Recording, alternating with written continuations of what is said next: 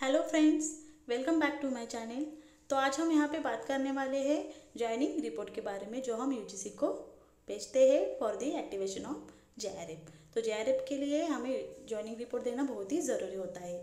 तो देखेंगे यहाँ पे किस तरह का ज्वाइनिंग रिपोर्ट होता है, इसे कैसे फिल करते हैं और कैसे अपलोड करते हैं। तो फ्रेंड्स वीडियो स्टार्ट करने से पहले जो लोग मेरे चैनल पे न्यू हैं प्लीज़ मेरे चैनल को लाइक कीजिए शेयर कीजिए और सब्सक्राइब कीजिए। देखते हैं ज्वाइनिंग रिपोर्ट कैसा होता है? तो यहाँ पे आप देख सकते हैं, ये है एनेक्सर टू जिसे हम ज्वाइनिंग रिपोर्ट कहते हैं। तो ये रिपोर्ट आपको यूजीसी की वेबसाइट पे मिल जाएगा जब आप टाइप करेंगे यूजीसी एनेक्सर टू जिसे हम ज्वाइनिंग रिपोर्ट कहते हैं। ओके देन यहाँ पे ज्वाइनिंग रिपोर्ट में कौन कौन सी इंफॉर्मेशन फिलअप करनी है, इसके बारे में बात करते हैं।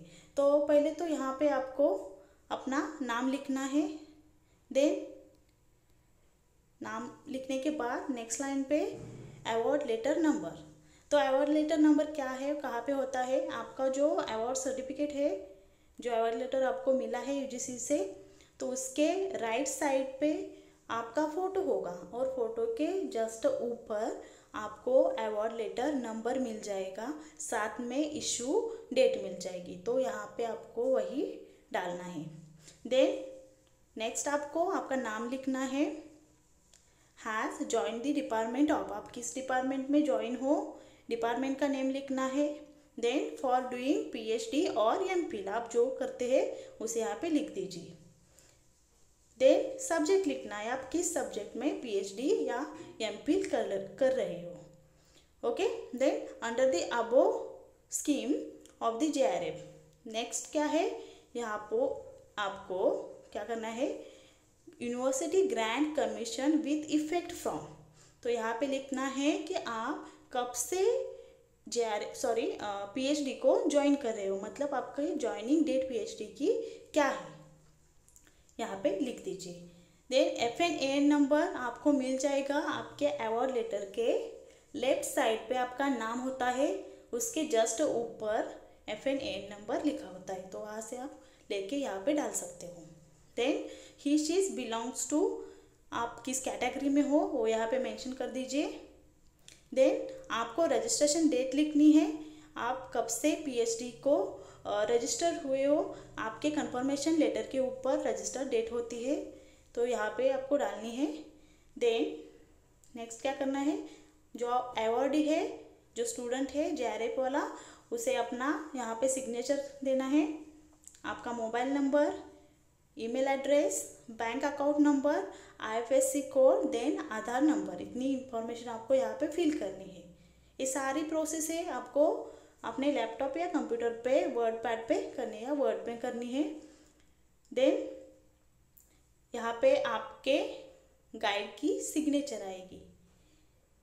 Then head of department signature और सील आएगी।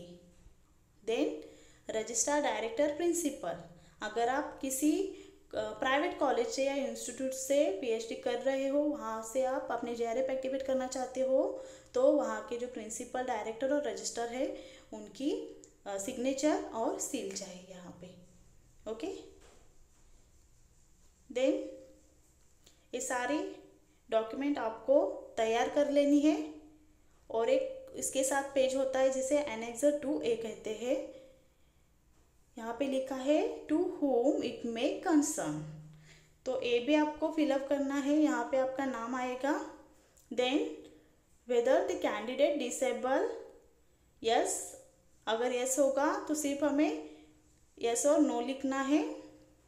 और यहाँ पे रिमार्क देना है, इस तरह से पूरा फिल करना है। देन यहाँ पे भी आ जाएगा एचओडी का साइन और सील और रजिस्ट्रार और प्रिंसिपल और डायरेक्टर का साइन और सील तो इस तरह से दोनों फॉर्म अच्छे से फिल करने हैं।